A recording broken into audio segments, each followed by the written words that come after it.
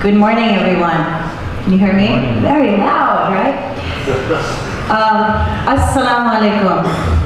Alaikum salam. And you would respond, Wa alaikum assalam. May peace be upon you. And thank you, Mary, for having me here. And thank you, Henry, for organizing this. And thank you all for being here. I'm going to tell you a couple of things about myself and Islam and how Islam is pluralistic and how Islam is deeply connected and rooted with the Christian faith. I am a faculty member at a Catholic college, Manhattan College. I teach Islam, world religions, religion and the Holocaust, religion and genocide. I'm also, as a Muslim woman, the director of the Holocaust Genocide and Interfaith Education Center. So my story, via my position, tells it all. A Muslim woman heading a Holocaust center at a Catholic school. So if you look at my work, or if you look at the very action that Tom was talking about in terms of Jesus and God, the very act of being for me is about pluralism. The, the, the, the air I breathe, the places I live, have lived, have been about pluralism. As a Muslim woman, I have never, ever felt homogeneous. I've always felt other with others and diverse with others. So that's the first thing about me that I want to share. The second thing I want to share is how do you get involved with pluralism? It's not just an intellectual activity, but what can you do as students? What can you do in your future? In Parkchester, Bronx, there is a mosque which is inside of a parking lot. It is called Al Iman Mosque. The sheikh, or as we refer to the imam, is from Zambia. He's married to a wonderful woman, Sharina, who is from Guyana. They're both Muslim. They used to work on Wall Street. And they decided several years ago when they had three children that they wanted to open up an Islamic school. So they left their high-powered jobs and decided to do that in Parkchester, Bronx. Three years ago, there was a Chabad community, which is a Jewish Orthodox community in the Bronx, that needed a space because they could not pay for their rent for their synagogue and their services. So the Muslim couple, the Imam, said to the rabbi, why don't you just take a room inside of my mosque? And they did. So there is a synagogue inside of the mosque in Parkchester. Not only that, but my students, students like you, go there twice a year and refurbish the place with the other Jews and Muslims. So what's going on here? What we're doing here is working on building a project that in itself has a very beautiful aura of not just being interfaith, but pluralistic. There are kids there that are your age, some older, some even younger. And it becomes an intergenerational pluralistic project. That's a concrete example of what we can do for one another. And as a Muslim, the Quran states, very much similar to the Christian faith, all the charitable acts.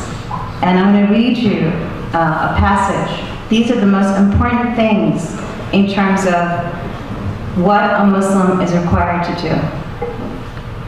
To believe in Allah, which is just a name for God in Arabic, and the last day, and the angels, and the book, and the messengers, to spend your substance out of love for Him, for your kin, for orphans, for the needy, for the wayfarer, for those who ask, and for the ransom of slaves, to be steadfast in prayer, and practice regular charity, to fulfill the contracts which ye have made, and to be firm and patient, in pain or suffering and adversity.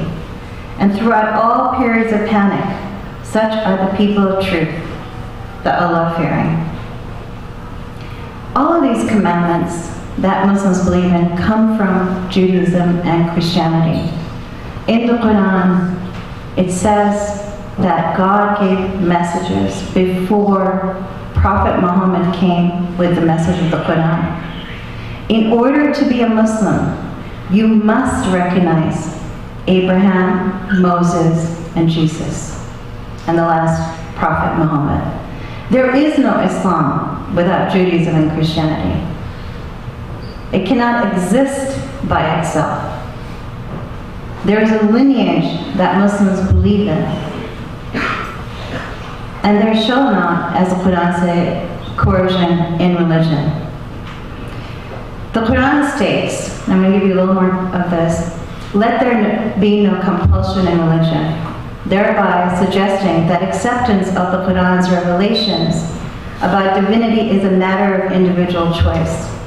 Another verse directs Muhammad to say to his detractors, To you be your way and me mine, suggesting that just as others have freedom to follow his. A third example indicates that it is within the purview of divine wisdom that many communities and nations exist. All of this talk about diversity is created by God. This is our challenge. This is our path that God has given us. And it says in the Quran, we created you from a single pair of a male and a female, and made you into nations and tribes, that ye may know each other, cooperate, engage with one another, suggesting that a diversity of nations and by implication, a diversity of belief systems is part of the divine organization of humanity. The Quran states that the messengers like Abraham, Moses, and Jesus, came as emissaries of the same God. You know, in, in growing up as a Muslim in my tradition, although I did it, I attended Catholic school for two years in London, and my mother went to Catholic school because we had missionaries where I'm from, originally in Pakistan. So that, you know, Christianity is not at all alien or other or foreign to us. But one of the things I was always taught as a young child was to really love Jesus who we refer to as Isa. Jesus is the most beloved prophet and messenger of God. And the crucifixion story in Islam is different from the Christian. Where, yes, in, in both the stories, Jesus is put on the cross, but God loved him so much that he would never let him suffer on the cross, and he's taken away. So that story is told over and over again. Jesus had more miracles. Moses had more miracles than Muhammad. Right? And Jesus was about love, alleviating suffering. All of these messages are in Quran. It's up to us to understand our faith.